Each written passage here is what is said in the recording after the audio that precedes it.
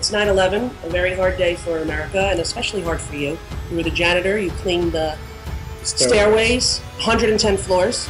Yes. Your office, sub basement level one, there are six sub levels. So the lobby, then sub one, sub two, sub three, sub four, sub five, sub. You were at sub one. You ch- you punched in at 8:30 in the morning. You were late. You weren't going to go to work. It was a beautiful day. You were going to take off. Correct. You come into work because your boss asked you to. You came in. You were a little bit late. At 8:46, you heard an explosion from beneath you, From below. from below. Yeah. It was so big that it lifted you up. Everybody in the office. 14 people 14. lifted you up. Correct. A few seconds later, you heard another explosion. Coming all the way from the top of the building. Turned out that was the plane, That was the plane. the first plane. Mhm. But there was definitely an explosion before the first plane. Oh, 100%, su- uh, 100% sure. You have a lot of witnesses who were down there Yes. who would confirm that fact.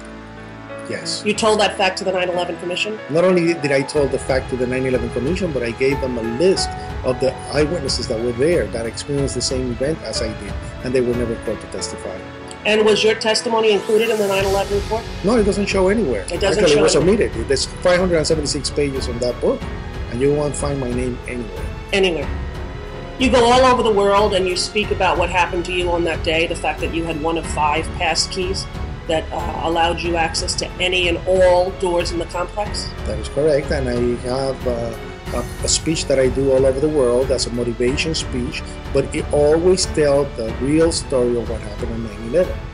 And uh, you know, like I said, there's a lot of respect all over the world for this kind of story. But when I come here, I am able to tell the story, but it's always either edited or uh, presented in a different way. And uh, only, I guess, C-SPAN had the only uh, pants to actually put my story without editing for basically uh, almost two hours.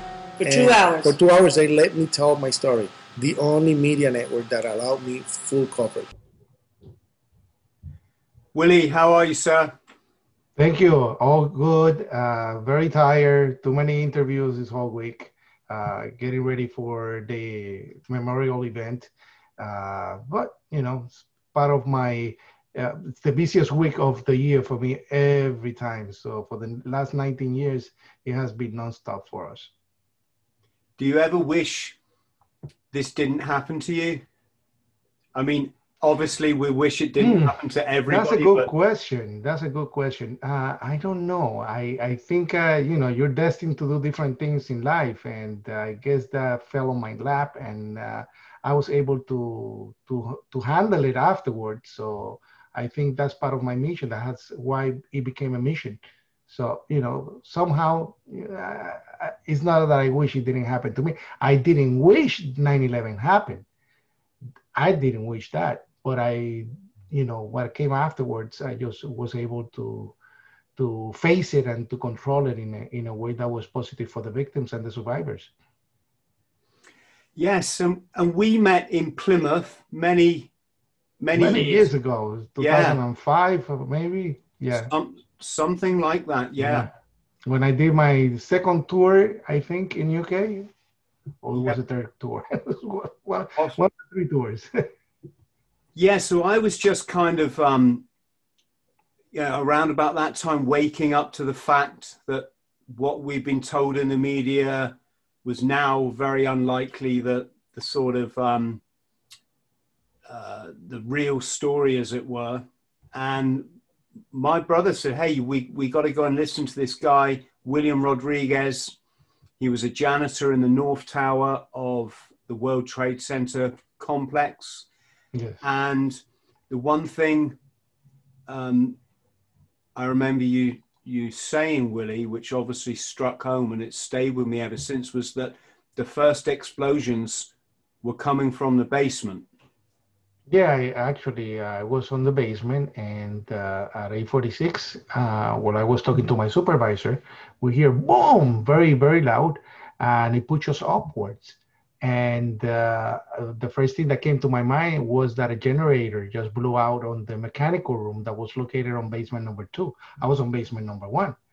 So just by the sense that it pushed me forward, upwards, and and and that I felt it like that, it came. Uh, to my realization that it was something else. And all of a sudden, when I went to say it, we hear an explosion all the way on the top. So you know, I always say that I, that I experienced two different events. Mm-hmm. How is it? How is it for you then, Willie? Because I notice when I've seen you in interviews that the mainstream media they very cleverly cut your story to make it sound like you heard a boom and it was the the the, the um, first aeroplane. Yeah, well, so sometimes I think it's creative editing, uh, and sometimes I think uh, is that they don't want to hear all the elements of what I experienced. Uh, you know, I cannot change what I went through. Uh, somehow, you know, I and I and I said it. I was one of the first ones to say it. I could be wrong, but that's what I experienced. You know, people speculate that I say there were bombs planted in the building. I never ever, for a single time, I said that. You know, but you know there were many explosions in the building, and uh, it's not for me to say that uh, to, investigate that. It's for the expert and for the people that know about these things to investigate. You know, otherwise it, it could have been fax machines blowing up. It could be uh, a generator blow, blowing up. It could be many things. The thing is that it wasn't investigated on that level and uh, that's what made us very angry at the very beginning and that's why my story was used so much by the 9-11 truth movement because of what it meant. And uh, but you know then all the issues that happened afterwards the issues with the political secrecy how the government was protecting the saudi arabians that were involved the royalty uh, that gave money to uh, you know, most most of the hijackers were Saudis, so you know you have an indication that there was other parties involved.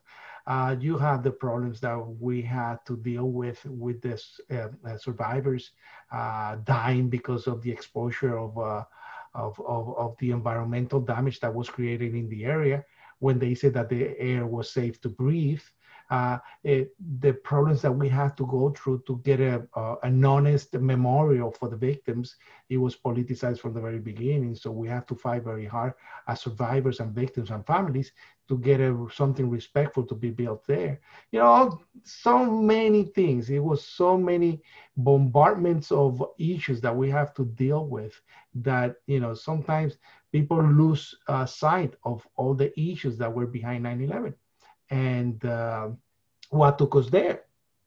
And up to now, 19 years after, we still really don't know exactly what happened on that day. We're still looking for answers. We're still searching for you know all the pieces because there's so many uh, secret uh, documents that have not been released and we want to have access. The families want to have access. We, when we uh, the, the survivors and the victims did the lawsuit against the saudi government the government didn't want us to do the uh, uh, lawsuit because they said it, it, you know first it was an ally. Second it will open up a door box that will allow other countries to do the same thing to America on places that we have done bad things. So, you know, it was uh, catch 22. So that didn't make any sense. Uh, uh, uh, uh, and for the survivors and victims, we only wanted the truth and to have closure, emotional closure. So we don't care about the poli- politics and the espionage issues that they have. They have that issue, not us.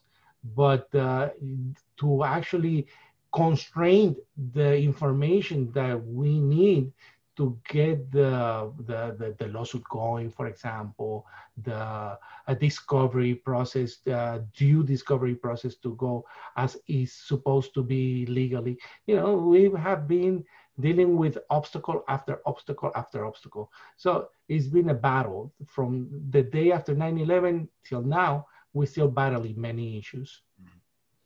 Willie, I don't want to gloss over your actions on the day, which can only be described as genuinely um, life saving. And, and, and I don't often use the word heroic, but you were responsible. You stayed in the building. They called you the keymaster because you obviously, being the janitor, had the key to many uh, safety. I have doors. the master key that opened all the doors. Yeah, I have. Uh, uh, I was the person in charge of cleaning uh, 110 uh, flight of stairs every day, 110 flo- uh, uh, floors. And uh, it was humanly impossible for people that didn't acclimatize their body to be able to do that. And uh, this is a picture of the of the stairs, as you can see. These are the stuff that I have to do every day. 110 flights every single day. Look at that. And uh, I work in the building for 20 years. My job, this is the master key, was what allowed me uh, to to have access and plus the years that I have in the building, 20 years. The first 10 years I worked for Governor Mario Cuomo, who was the governor of New York on the South Tower. I was a person that cleaned his office, but uh, he liked me so much that, you know, because I was a magician, uh, he loved magic and he would put me to do tricks for the uh, uh, journalist and he gave me other other chores and little by little he was preparing me for what came out to be my mission after 9-11 because i learned how to write uh, uh, legislation how to write laws and things like that and to get benefits passed for the for the victims. It was all what i learned there. So you know one thing was connected to the other. The world trade center was my home after my home uh, i sometimes slept in the building so I knew the building with my eyes closed. Uh, it was a place of uh, uh, social entertainment all the time. Here's, here's a video that nobody has seen before. I'm gonna give it to you so you can see it. Is uh, uh, people dancing salsa at, at the World Trade Center.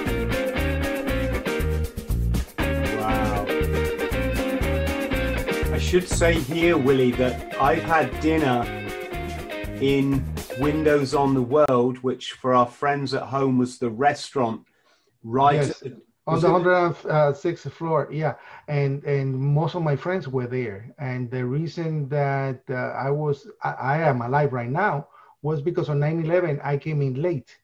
Because every day I will go at eight o'clock to Windows of the World because they gave me free breakfast.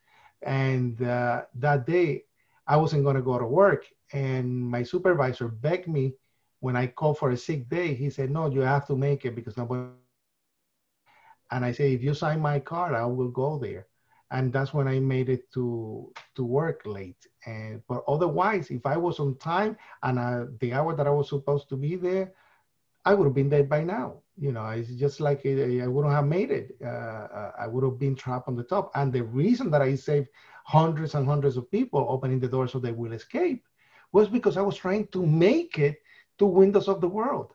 I don't know how I was going to how I was going to go through the fire, but I was going to figure out one way or the other. Maybe impossible, but that was my motivating factor because I was desperate because of my friends were trapped, and I knew it, and I had the master key. This is the master key.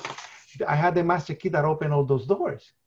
So I knew that I can help them at that moment. And and and sadly, even though I'm recognized, I've been given every award you can imagine, uh, I've been named national hero. I'm only a survivor, and I don't feel that I did the job complete because I was never able to get to my friends and save them. Mm. Willie, when we say see that infamous picture, I think they call it the falling man. Yes. And I think they traced who that gentleman actually was. He was a black gentleman that um, had some business at the, the, I don't know if he worked in the tower or he had some business. I think maybe it was Windows on the World. Did, did you know that chap personally? No, I did not. And I tell you something, uh, uh, uh, when I, when I was there, when I came out, out of the building the first time, and I was doing uh, by putting people in, in in the first ambulance. What I saw was everybody looking upwards, looking where the impact was, and I saw the impact. I saw the fire. I saw the smoke, and I saw things falling out, which I saw was debris. Later on is when I realized it was people jumping out of the building. And that was just like, you know, it was too much. This is uh, uh, uh what I saw when I, when, when I went outside. Look.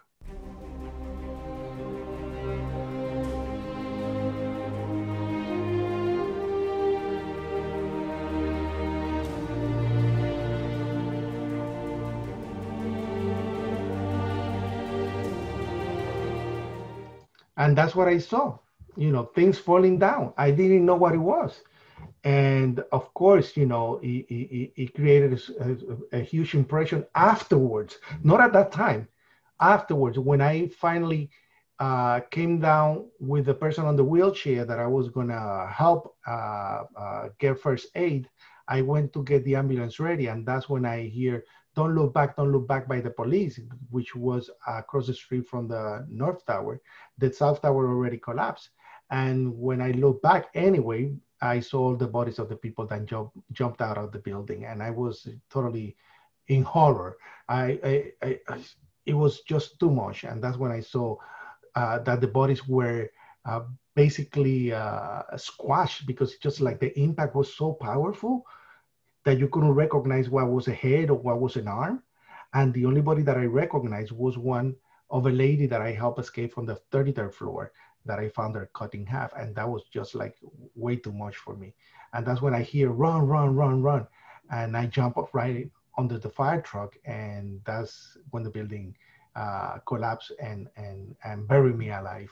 And I stayed there for four hours until I got rescued. Yes, so you were literally the last man out of the building, which is uh, quite something in it in itself, isn't it? It's not only it just I, I see the, the images of that day and to see that because I look up and I saw when the building started collapsing, I was like, oh my God, I, I have no place to run. And I just just lay right under the, the fire truck. And then the famous uh, uh, cloud of dust that created and and and and, and covered the whole uh, lower Manhattan. I was at the epicenter of it, and it was powerful. It was uh, uh, uh, you know destroyed concrete, steel, everything. It, it, just hit me. It destroyed my shirt just to give you an idea, this is uh, uh, what I went through.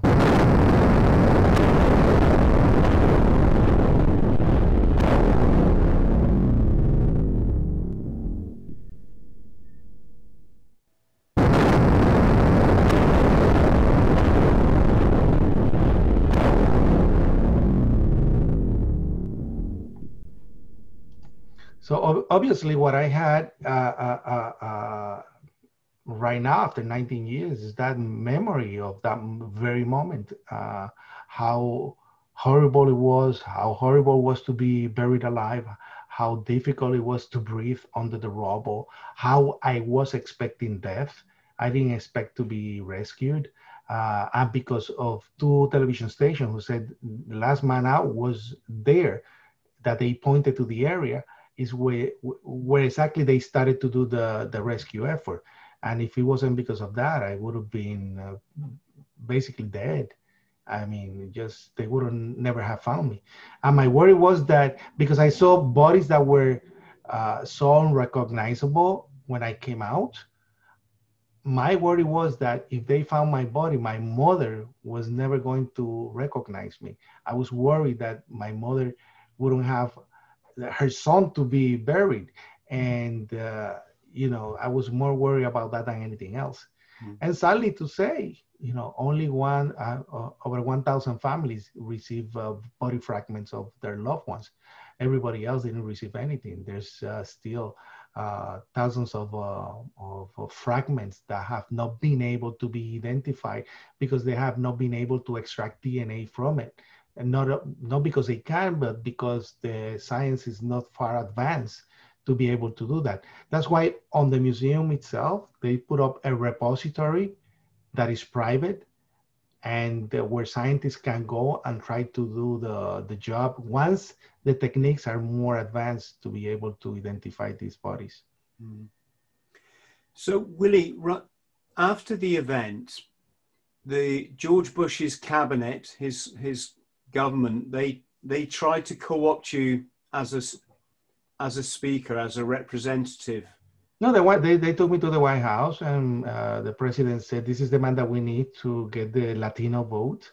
We're talking about 30 million voters, voters and uh, uh, my his my my story was very romantic in a way for them you know from the janitor that saved uh, you know hundreds of people to the janitor that is writing legislation and is fighting every day on television getting benefits for the victims. They love that. They say this guy you know is is uh, a natural and uh, we can use him. And they say you know we want to train you uh, with the techniques of politics and things like that. And we're going to send you to the Governing Institute in New Jersey.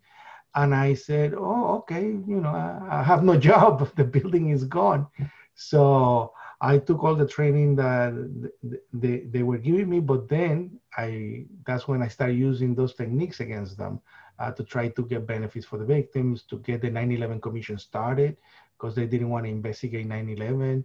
Uh, to get myself in, uh, uh, interrogated by the 9-11 commission uh, which as everybody knows my testimony was not included in the final report.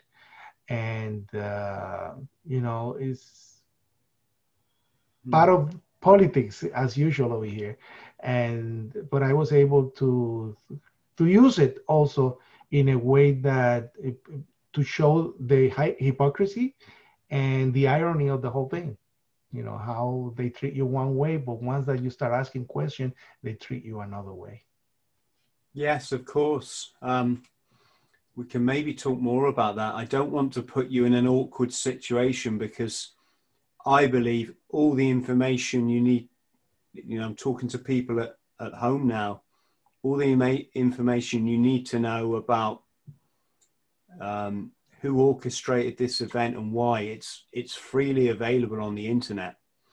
In fact, um, did you hear Willie of the study, the University of Fairbanks, Alaska?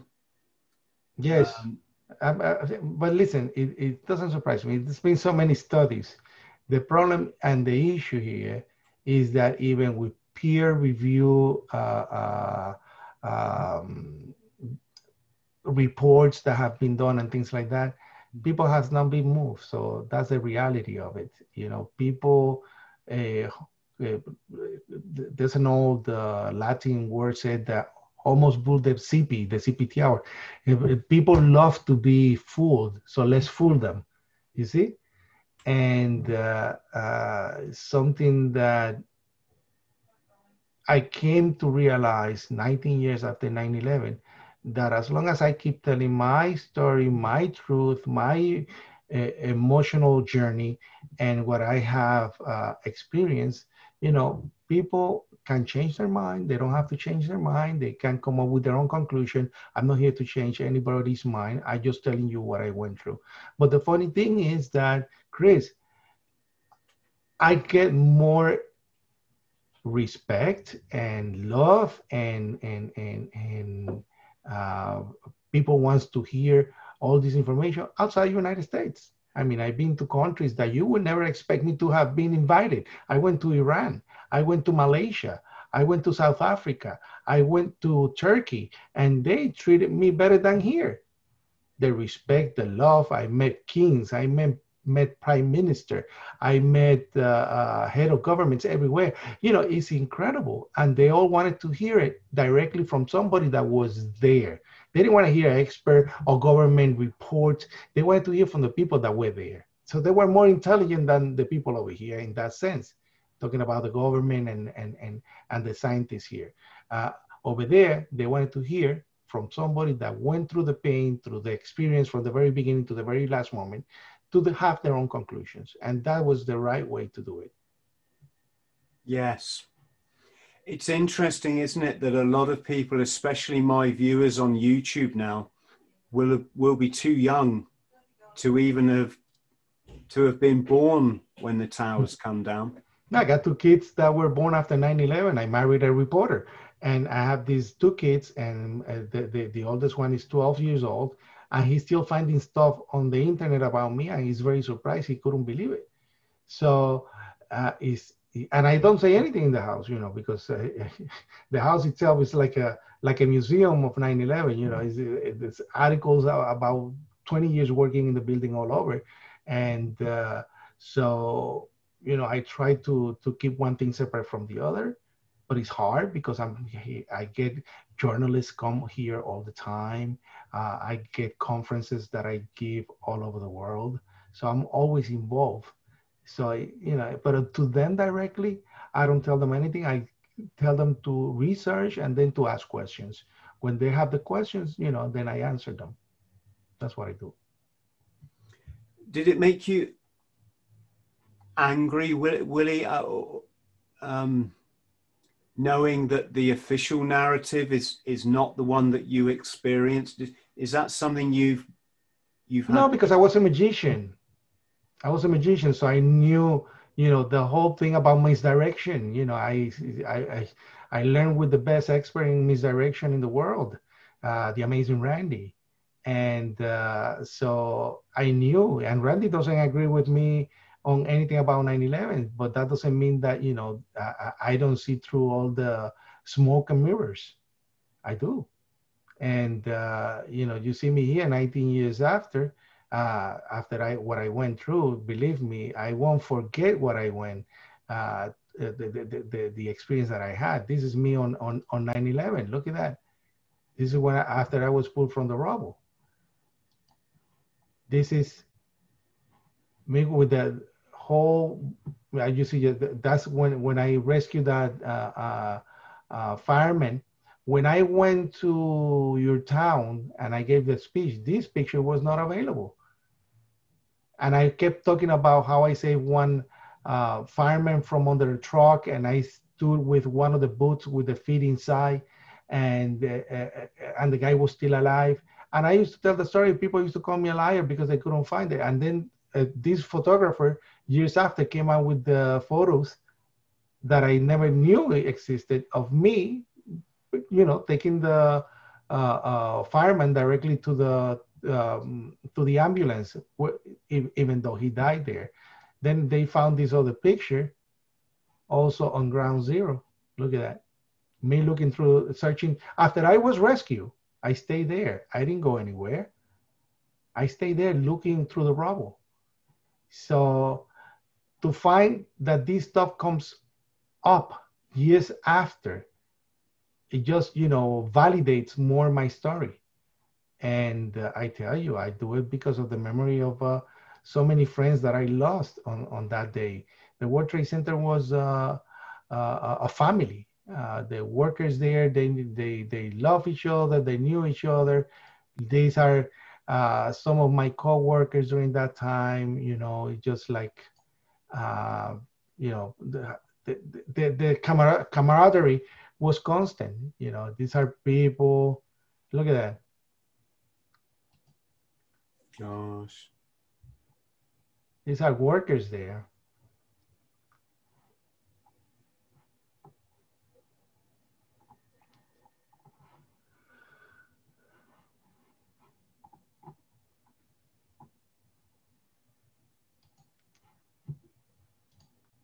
So you know it's, it's that's why i do what i do uh, after all this year because you know i lost so many people. I lost so many friends over 200 people and the emotional inventory that you go through of not having those people around in your life le- leaves you with a emptiness that you know is undescribable.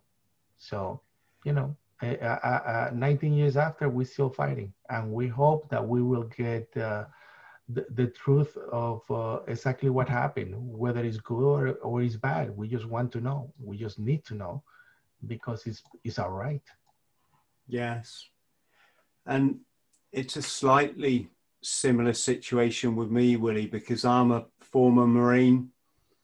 I've had to watch my corps get sent to the Middle East.